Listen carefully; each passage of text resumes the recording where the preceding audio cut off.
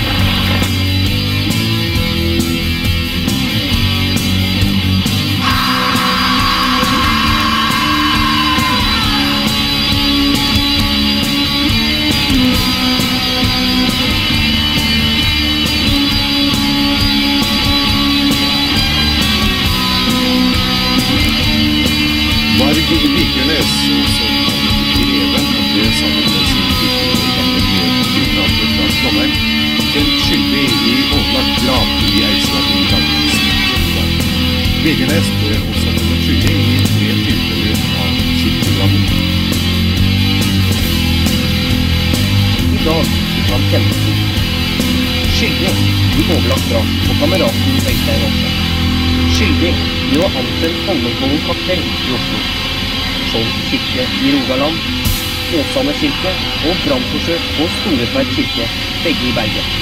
Men juryen har ikke bevis for at musikeren var virkelig sto bak brannherjingen av Tantopp statskirke natt til 6. juni 1992. Varg Vikernes, født 11.2.73, dømmes til en straff av fengsel i 21 21 år.